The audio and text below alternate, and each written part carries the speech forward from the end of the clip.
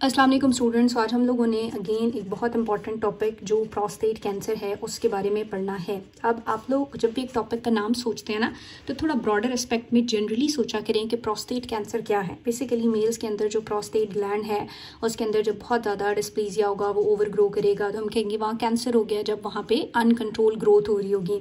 अब आपको पता था यहाँ पर यूरीथ्रा वगैरह है, वो कॉम्प्रेस होगा यूनरी सिम्टम्स आएँगे, यही कुछ होगा ना। अब जब केस आपके पास आ जाता है तो आपने ब्रॉडर एस्पेक्ट पे सोचना है कि इसकी इन्वेस्टिगेशन मैं क्या कराऊं और इसका ट्रीटमेंट मैं क्या कर सकता हूँ। ये मेल्स के अंदर काफ़ी ज़्यादा 65 से ऊपर मोस्ट कॉमन मेलिग्नेंट ट्यूमर है। तो ज़ाहिर सी बात है बेटे कि इसको देखने के लिए सबसे पहले उसकी हिस्ट्री बहुत इंपॉर्टेंट है, फिर हम एग्जामिनेशन करेंगे। एग्जामिनेशन के बाद हमने प्रोस्टेट के लिए स्पेसिफिक पीएसए होती हैं, वो करनी है। देन उसके बाद हम अल्ट्रासाउंड और बायोप्सी पे कंफर्म करते हैं कि ये कैंसर है या नहीं है।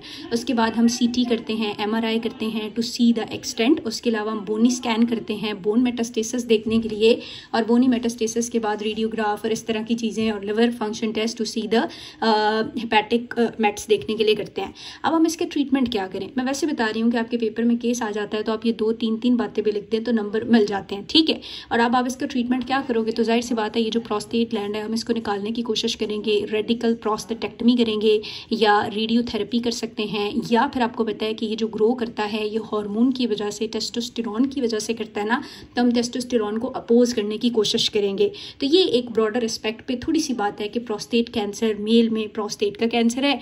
उसकी डायग्नोसिस के बाद इन्वेस्टिगेशन में मैं क्या क्या कराऊँगी पीएसए कराऊँगी अल्ट्रासाउंड कराऊँगी, बायोप्सी कराऊँगी, उसके बाद C T M R I कराऊँगी bony scan है रेडियोग्राफी है एल एफ़ टीज़ हैं और ट्रीटमेंट में प्रोस्टेटेक्टमी है रेडियोथेरेपी है या हार्मोनल एब्लेजन है।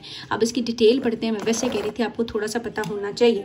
ओके सो प्रोस्टेट कैंसर की अगर हम लोग बात करेंगे बेटे तो प्रोस्टेट कैंसर आपने याद रखना है कि ये मोस्ट कॉमन मोस्ट कॉमन जो है मेलिग्नेंट ट्यूमर है, जो मेल्स के अंदर पाया जाता है अबव सिक्सटी फाइव यानी सिक्सटी फाइव के बाद जो मेल कैंसर्स के साथ आते हैं, उस उसमें मोस्ट कॉमन कैंसर प्रोस्टेट हो सकता है।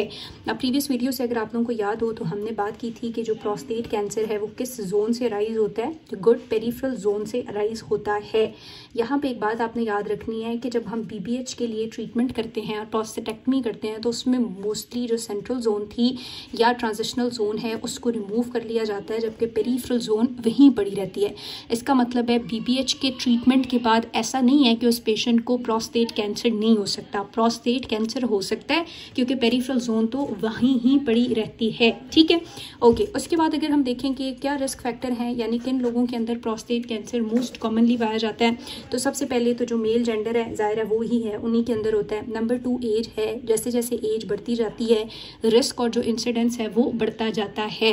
उसके अलावा उसने कहा थोड़ा सा ये रेस स्पेसिफिक भी है, यानी ब्लैक्स के अंदर ज़्यादा होता है, और अगर हम डाइट की बात करेंगे तो जो लोग हाई फाइबर डाइट लेते हैं। हाई फैट डाइट सॉरी उनके अंदर रिस्क जो है वो काफ़ी ज़्यादा है, ठीक है? सो हाई फैट डाइट वालों के अंदर भी रिस्क ज़्यादा है और मोस्ट इंपॉर्टेंट रिस्क फैक्टर जो है वो फैमिली हिस्ट्री है।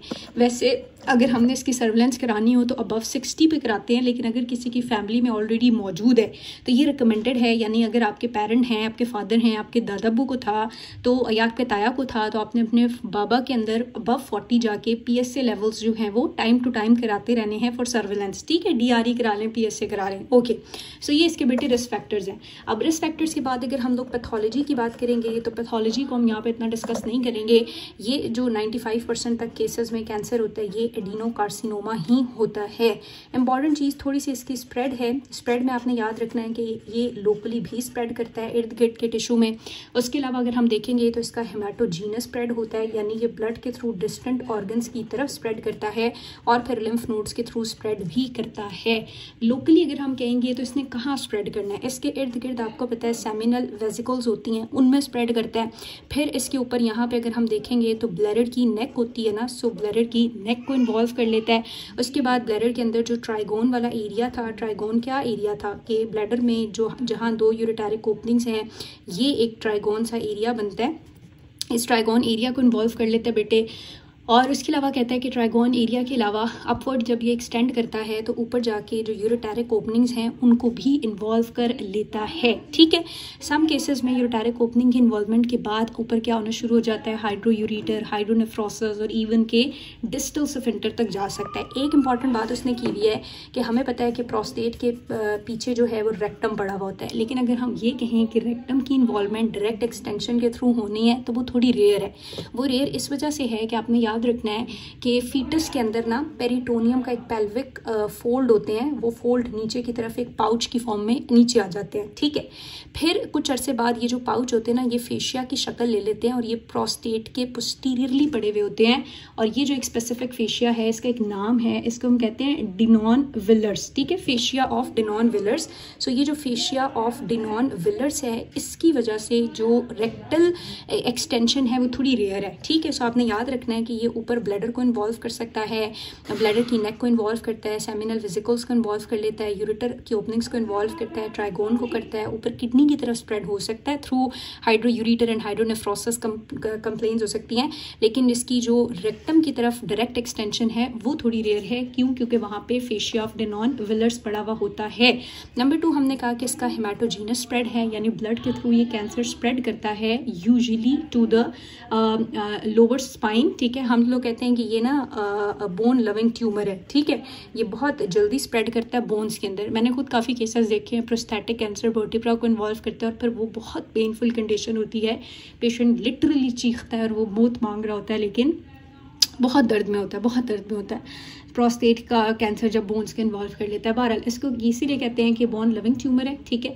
और बोन्स का पैटर्न आप लोगों ने याद रखना है कि सबसे पहले वर्टिब्रा को इन्वॉल्व करता है, फिर उसके बाद अगर हम देखेंगे तो ये फीमर को इन्वॉल्व करता है। फीमर के बाद अगर हम देखें तो पेल्विक बोन्स इन्वॉल्व होती हैं। उसके अलावा थोरेसिक वर्टिब्रा फिर इन्वॉल्व होगा या थोरेसिक रिब्स होंगी then sternum and then skull ठीक है बेटे? तो आपको खुद भी समझ आ रहा है कि प्रोस्टेट जब वर्टिब्रा को इन्वॉल्व करेगा तो वर्टिब्रा से ऊपर ऊपर ऊपर ऊपर जाना है ट्यूमर और स्कल में जाएगा और अनफॉर्चुनेटली मैंने ऐसा एक पेशेंट देखा है। देखा क्या फैमिली में ही था, लेकिन बहुत बहुत ज़्यादा पेनफुल कंडीशन है, अल्लाह ताला ही बचाए। ओके सो ये बात हम लोगों ने कर ली। उसके बाद वो कहता है कि इसके बाद इसकी जो इन्वॉल्वमेंट है, वो लंग्स और लिवर्स तक भी जानी है। लेकिन सबसे पहले इसने वर्टिब्रा को इन्वॉल्व करना है थ्रू ब्लड क्योंकि ये बोन लविंग ट्यूमर है।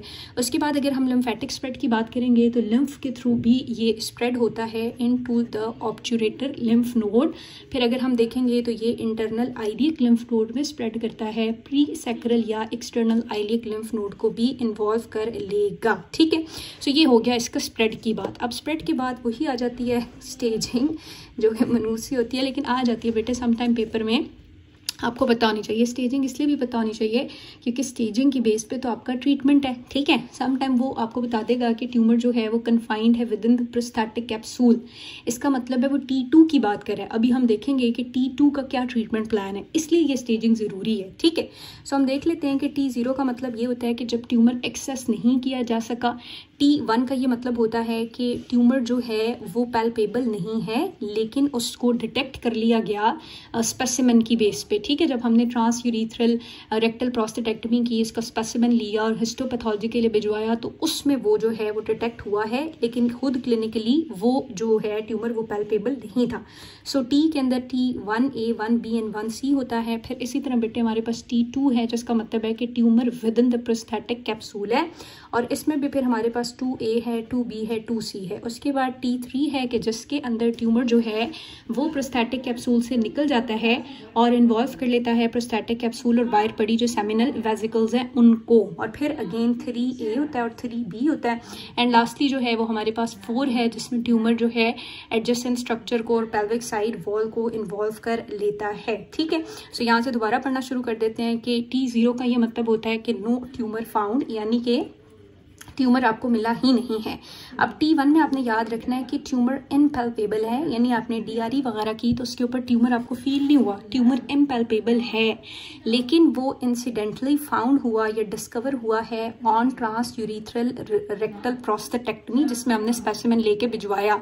टी यू आर पी हम मोस्टली तब कर लेते हैं जब P S A level raise आते हैं। हमें सस्पिशियस हमें शक होता है कि कैंसर है तो फिर अंडर अल्ट्रासाउंड गाइडेंस हम यूरिथ्रा के थ्रू इंटर होते हैं और प्रोस्टेट का एक टुकड़ा लेके के उसकी हिस्टोपैथोलॉजी करवाते हैं। अब अगर हमने हिस्टोपैथोलॉजी करा दी और जो हमारे पास रिजेक्टेड स्पेसिमेन था, उसका less than five percent area involve है तो फिर हम कहते हैं ये टी वन है। More than five percent area involve है तो फिर हम कहते हैं ये वन बी है। और अगर वो कहता है कि इम्पैल्पेबल ट्यूमर बायोप्सी पे मिल जाए increased P S PSA तो वो जो है उसको टी सी वन सी का नाम दिया हुआ ठीक है?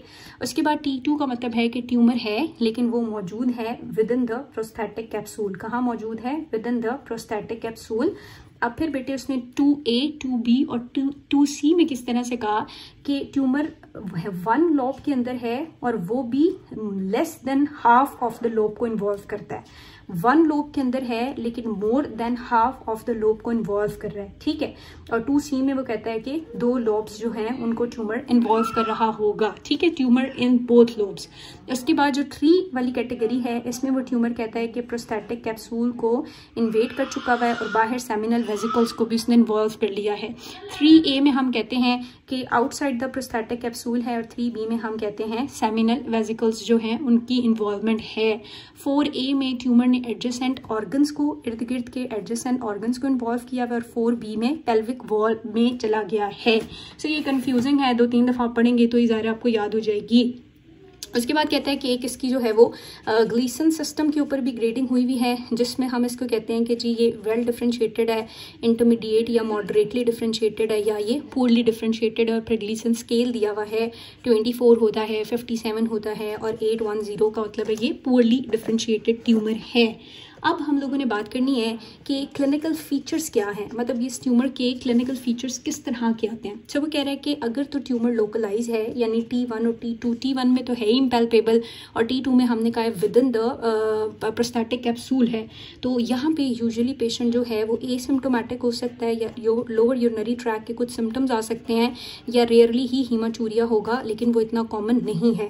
लेकिन ज़ाहिर सी बात है कि अगर ये ट्यूमर जो है, वो स्प्रेड होना शुरू हो गया है मेटास्टेसिस शुरू हो गई हुई है। तो फिर डिज़ीज़ के बहुत सारे सिम्टम होंगे ब्लडर आउटलेट ऑब्स्ट्रक्शन वाली सारी कंप्लेंट्स होंगी। उसके बाद पेशेंट जो है, उसको हीमा चूरिया हो सकता है डीप पेरोनियल पेन हो सकता है और ऑब्स्ट्रक्शन की वजह से हाइड्रोनेफ्रोसिस और पेशेंट रीनल फेलियर में भी जा सकता है। यहीं पे बेटे, जब ये मेटास्टैटिक डिज़ीज़ होगा तो मेटास्टेसिस की वजह से बहुत मसले हैं। अगर तो बोन के अंदर मेटास्टेसिस है तो आपको बताया है कि बहुत स्वेयर पेन होता है, ठीक है? उसके बाद सेकेंड बात यह है कि जब वर्टिब्रा की इन्वॉल्वमेंट है तो उससे स्पाइनल कॉर्ड कॉम्प्रेशन होती है। उसके अलावा जब आपका बोन मैरो की इन्वॉलमेंट होती है तो उससे नंबर वन अनीमिया शुरू हो जाता है। नंबर टू पेन साइटोपीनिया जो है, वो शुरू हो सकता है। वैसे भी जिसमें कैंसर फैल जाए, वो पेशेंट बहुत पेल और बहुत कमज़ोर हो जाता है। ठीक है, उसके बाद वो कहता है कि अगर इसने लंग्स को इन्वॉल्व कर लिया तो फिर जो है, कफ शुरू हो जाएगी हेमोप्टिस खून की उल्टी वगैरह आ सकती है, या थूक में मेरा ख्याल है खून आने को कहते हैं। उसके अलावा अगर इसने लिवर को इन्वॉल्व कर लिया तो फिर ज़ाहिर है, आपके जो एल हैं, वो भी क्या होंगे? ग्रेंज हो जाएँगे, ठीक है? अच्छा तो ये इसके क्लिनिकल फीचर्स हैं। Now the final cheese